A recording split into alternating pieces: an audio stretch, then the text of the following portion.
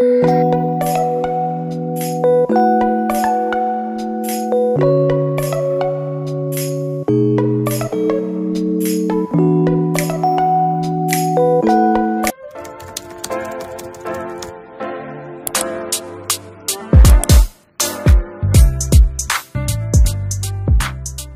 po mga mamis. Magandang araw po sa inyong lahat.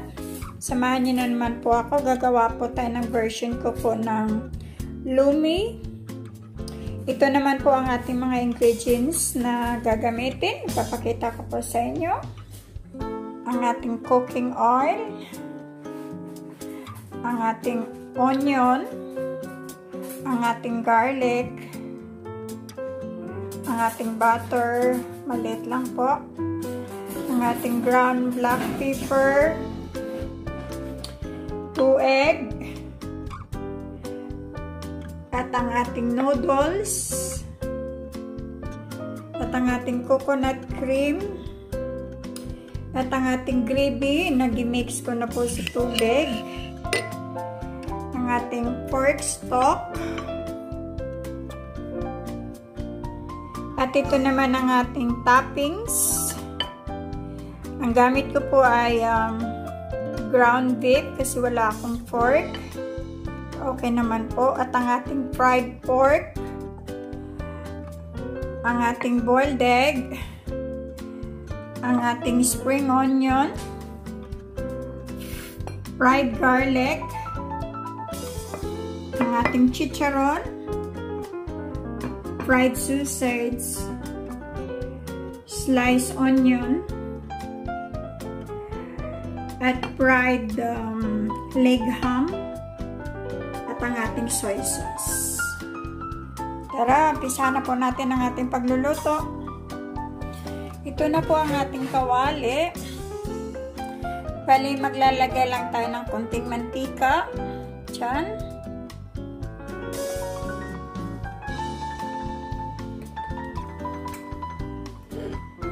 At ilalagay naman natin ang ating butter. Natin na mag-melted yan.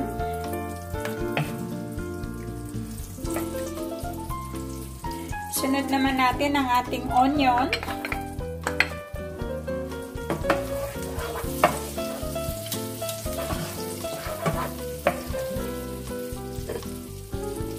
Ang ating garlic.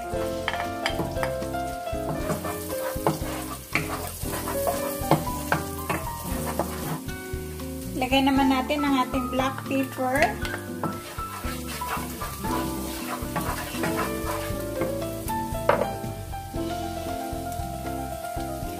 At ang ating coconut cream.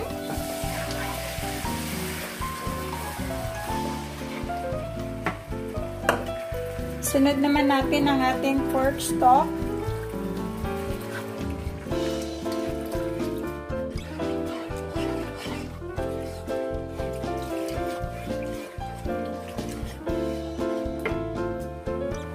Naglagay naman tayo ng kunting um, gravy. Nag-mix na po natin kanina. Hindi muna natin ilahat.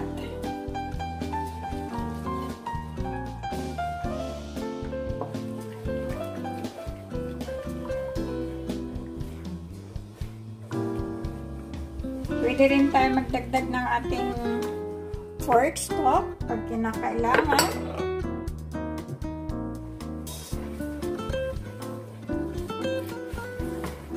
Lagay naman din natin ang ating egg.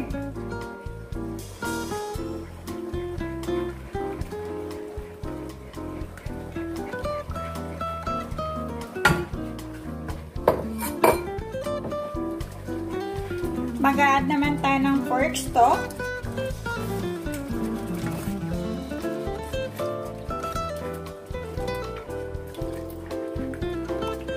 Mix lang ng mix.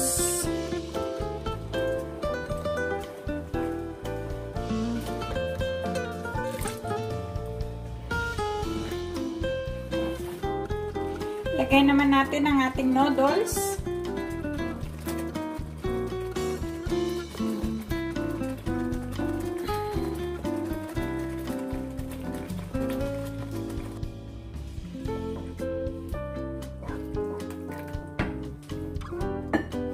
Magdagdag tayo uli ng ating uh, pork stock kasi medyo very sticky.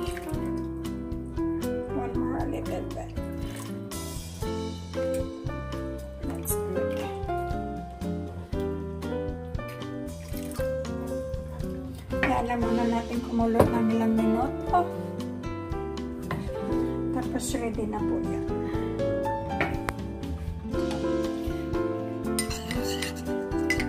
Kunting gravy pa.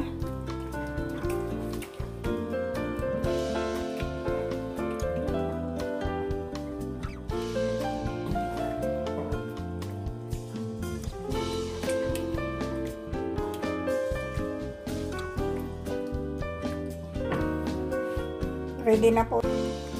Okay na po yan. Tatanggalin na po natin. Ilagay na po natin sa ating serving bowl.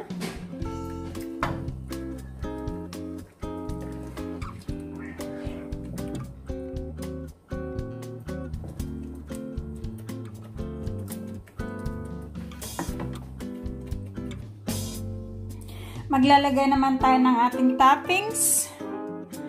Ang ating fried garlic.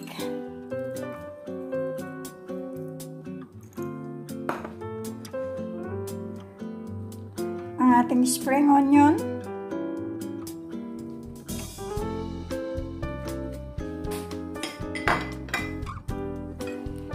At ang ating uh, ground beef.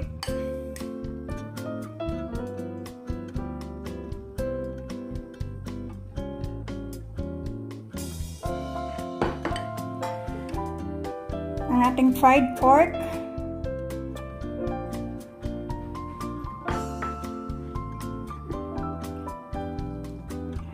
Ang ating fried sausage.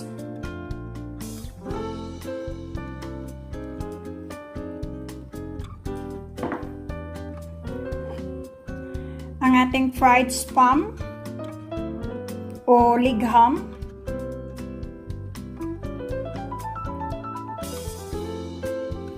Tapos ang ating pork crackle o ang ating chicharon.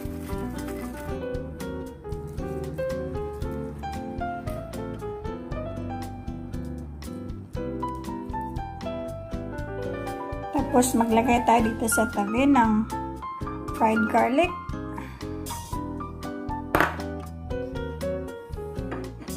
Maglagay tayo ulit ng spring onion.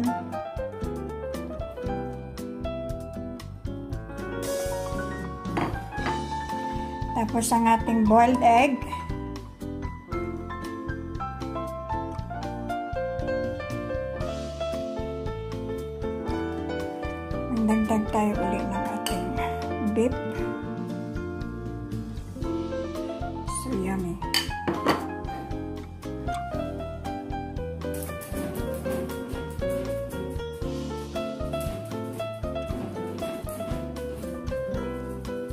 Ito na po yung version ko ng Lumi.